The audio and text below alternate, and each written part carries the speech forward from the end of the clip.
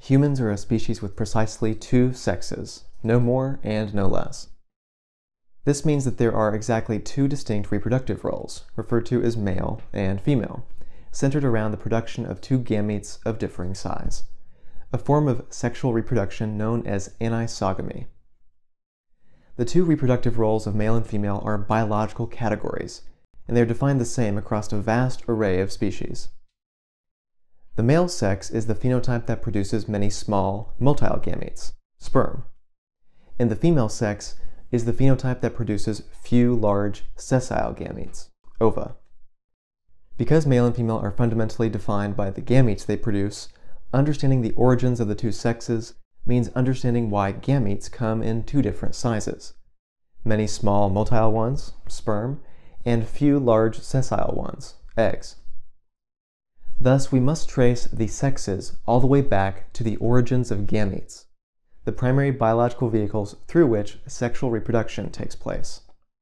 Sexual reproduction is the mixing of genomes in the fusion of gametes, a process which forms a new genetically unique individual. It first arrived on the scene around 2 billion years ago with single celled eukaryotic organisms. And despite heavy evolutionary costs, the stronger evolutionary advantages from sexual reproduction made it near universal among eukaryotes, with now more than 99.9% of named animal species reproducing sexually. Sex before the two sexes. Two billion years ago, however, sexual reproduction occurred in the absence of males and females. In fact, it might seem paradoxical, but sexual reproduction is entirely possible without the existence of the sexes. Between 1 and 2 billion years ago, sexual reproduction largely occurred not through the fusion of gametes of different size and form, sperm and egg, but through the fusion of gametes that were equal in size. This form of sexual reproduction is known as isogamy. Iso equals same, gamos equals marriage.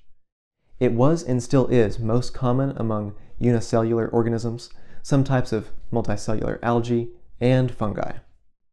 Isogamy occurs when all gametes are morphologically similar, particularly in size, and when the contribution of genetic material and resources to the zygote is shared equally between the two parents. During isogamous reproduction among organisms like algae, gametes are released into the sea, meet and fuse, and undergo nuclear fusion to form the new zygote. Gamete compatibility, which sex cells can fuse with each other, is determined by molecular mechanisms that act as lock and key systems, known as mating types. Isogamous organisms like fungi can sometimes have thousands of mating types, thousands of pairs of locks and keys, providing a large set of gametes, each similar in size yet different on the molecular level. This huge number of mating types does not change the fundamental feature of sex, however.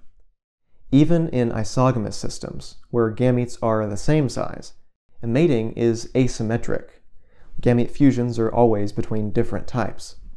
There has never been a documented species where every gamete can fuse with any other gamete.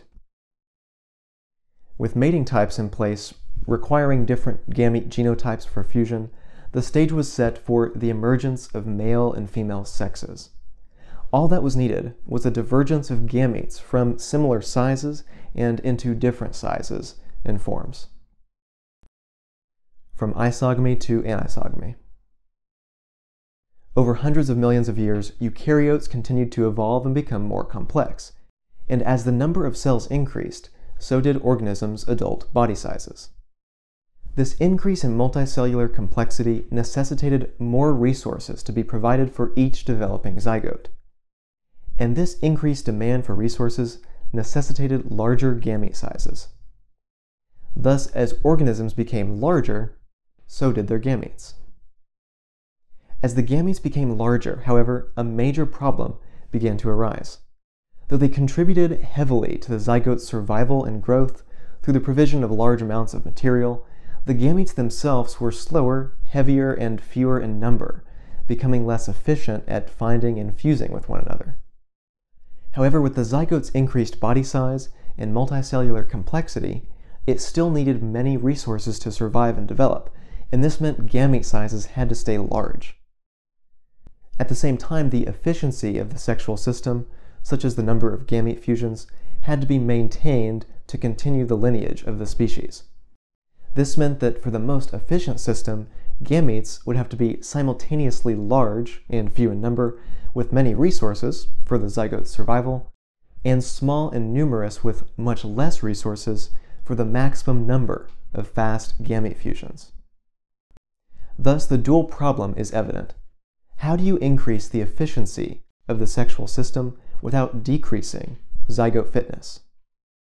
The answer was found through a process known as disruptive selection, where the best evolutionary solution is in the extremes.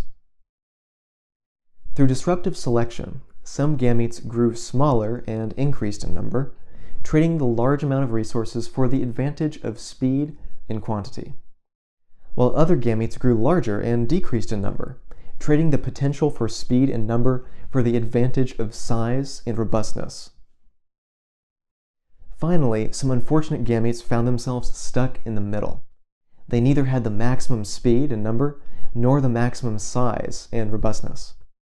Their reproductive fitness was beaten by both the many fast motile gametes and the few large sessile gametes.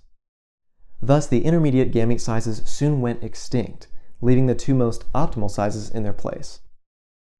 As developmental biologist Emma Hilton writes, what rapidly emerges as the most efficient system, one that maximizes the number of successful collisions while maintaining robustness of offspring, comprises two types of gamete. The two gamete types that permit maximal reproductive efficiency are 1. One slow slash stationary large target that confers all the robustness to the offspring, and 2. Multiple small, fast missiles peppering the target. The possibility of multiple gamete sizes and multiple ways of conferring robustness are quickly weeded out as the system collapses into two extremes that represent optimum function. This system of two gametes of differing size and form, with unequal contribution of resources to the zygote from the two parents, is known as anisogamy. Aniso equals unequal, and gamos equals marriage. After gametes diverge into two extremely different sizes through disruptive selection, it is near impossible to reverse it. Reversing this development would require exceptional circumstances, such as a reversal of organismal complexity. Thus, the development of gametes into two different sizes and forms is mostly a one-way path. And because of the reproductive optimality, balancing out the disadvantages of the two gamete types through divergence into both extremes, anisogamy has become the dominant system of sexual reproduction across the plant and animal kingdoms. Emergence of two sexes. Once the gametes have diverged into two different sizes and become stable, two sexes are formed, no more and no less. With two different gametes, a few large sessile ones and many small motile ones, two different reproductive roles are generated, along with the evolution of reproductive anatomy for the production and release of the sex-specific gamete type. Thus, the sex-based differences between males and females, particularly the differences in reproductive anatomy, and the subsequent impacts of natural and sexual selection on body type and behavior, can be traced back to the divergence of gametes into those two different sizes. The evolution of gametes into two extremes and the subsequent emergence of two sexes is so optimal for sexual reproduction that the male-female dichotomy has, quote, evolved independently across nearly all lineages of multicellular organisms. In fact, evolutionary biologists reiterate that the divergence into two sexes is, quote, an almost inevitable consequence of sexual reproduction.